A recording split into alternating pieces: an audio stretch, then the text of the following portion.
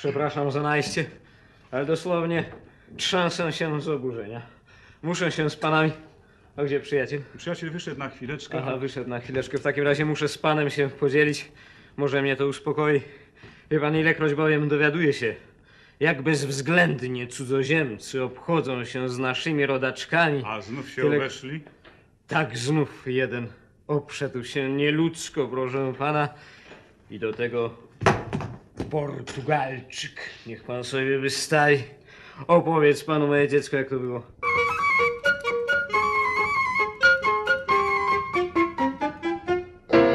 W tym ogrodzie za książęcą zwącił duszę mą dziewczęcą, potem ciało zawiódł śmiało na fraskati. Tam, gdy z radia płynął walczyk, wykorzystał Portugalczyk mnie ze szczętem. Kto? Vincente Osculati, a kiedy wschód zaczął ciut złocić kwiaty, powiedział mnie twardo, że nie zaplaci.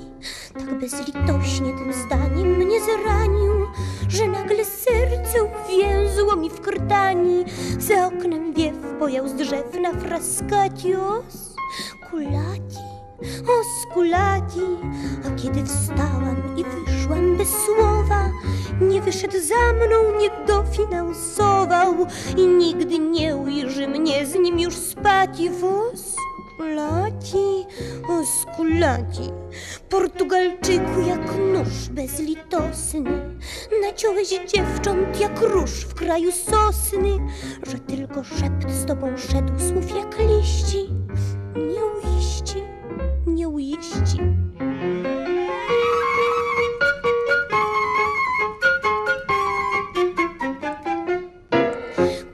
Z groszem się nie liczy, jakby nie miałby pożyczył. Dla rodzinki upominki tańsze zabrał, bo odłożył to i owo na książeczkę docelowo. Najpierw podjął, potem objął, a nie nabrał.